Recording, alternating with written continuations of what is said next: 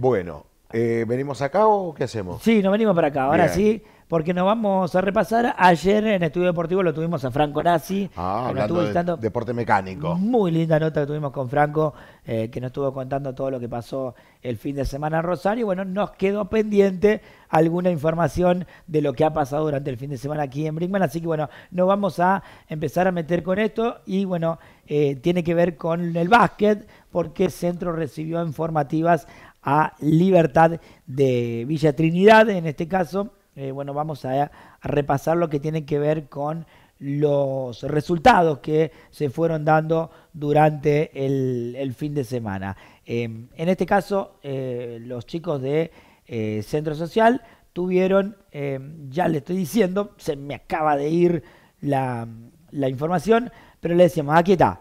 Categoría U13, victoria de Libertad en suplementario 79 a 78. Partidazo aquí.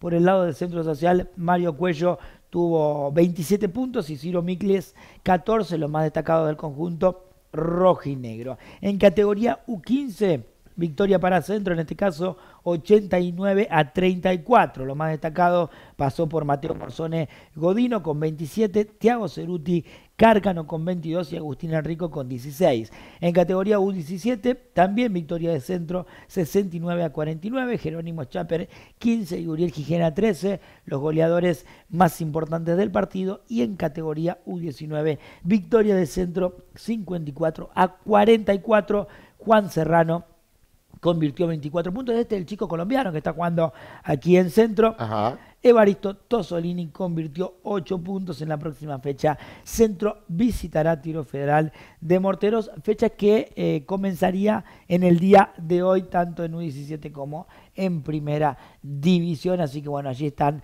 eh, algunas de las imágenes. Eh, que nos dejaba, esto es categoría U13, ¿sí? lo que estamos viendo, algunas de las imágenes que nos dejaban las formativas del Centro Social que recibieron a Libertad de Villa Trinidad. Y seguimos en el básquet, pero del eh, masculino nos vamos al femenino porque Centro recibió en este caso a nueve morteros en primera división. Las Lobas, como se hacen llamar el equipo de primera división de Centro, en este caso, el día sábado recibió en el Polideportivo Rojinegro, como decíamos, a nueve morteros. Fue victoria 123 a 12 para las chicas de centro. Milagros Gran con 25 puntos.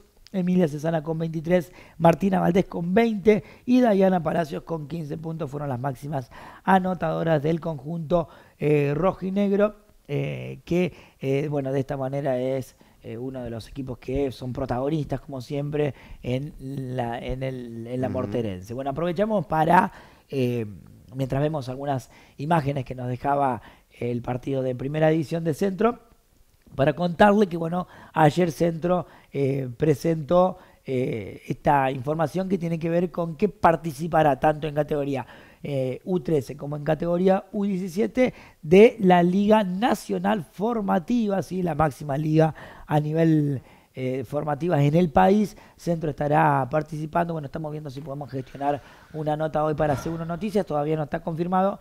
Eh, queríamos hablar con la gente de la subcomisión que nos estaría contando todo lo que se viene para las chicas del Centro Social en este Nacional de, de Formativas. Por lo pronto, la primera división rojinegra le ganó a nueve morteros por la morterense. Eh, así que bueno, allí nos vamos con las imágenes eh, de las chicas de centro. Y por último, contarle que eh, también hubo fútbol, ¿sí? Porque las chicas, en este caso de San Jorge, estuvieron jugando la quinta fecha del torneo clausura. En este caso se jugó en Morteros y enfrentaron a Esportivo Suárez, ¿sí? cancha de tiro federal. Recordamos aquí que siempre hay dos enfrentamientos, digamos, cuatro equipos, dos enfrentamientos en eh, todas las categorías. En promocional e infantil fue empate 0 por 0, la juvenil perdió 2 a 0 y en primera también fue derrota 3 a 2 para las chicas de San Jorge. Los goles eh, por el lado santo fueron de Milagros Quiroga, que eh, bueno, fue la goleadora del partido. Así que bueno, estuvieron jugando las chicas allí en Mortero. Qué Fecha lindo. número 5 del torneo clausura. ¿sí? Muy bien, muy bien, perfecto. Todo pasado, todo repasado entonces. Exacto. Eh, ¿Usted terminó? Terminé por. Porque le quiero pasar un chivo que me acaba de, de enviar aquí la eh, Ceci, Ceci Giacosa de Giacosa Turismo, que estábamos hablando del Fórmula 1. Y mira, ya eh, tienen en venta para el eh, eh, para Brasil, Brasil. que eh, va a tener la Fórmula 1 el 3 de noviembre del 2024 eh, en, en Brasil, en Sao Paulo. Y ella tiene viajes. Mirá. ¿eh? Así que los que quieran consultar así por algún viajecito para ir a ver la Fórmula 1 en Brasil, Galoto, ay Galoto, mirá. Rompa el chanchito, Galoto. romp... Muy- Ah, Bueno, eh, mira, programa completo incluye cuatro noches de alojamiento con desayuno en el Hotel Tres Estrellas. Eh, 31 de octubre al 4 de noviembre. Entrada para tres días. Aéreo desde Buenos Aires, traslado al circuito, traslado in-out, o en auto quiere decir. No, no, traslados in y out, de, de ingreso y egreso. Y asistencia, claro, y asistencia al viajero. Así que muy bueno, che, gusta muy bueno. gusta A, los amantes de la Fórmula 1, mira, esta es una oportunidad tremenda. anda bien verlo. con el inglés usted. ¿Eh? Anda bien con el inglés. No, very, very, very good, very good. Anche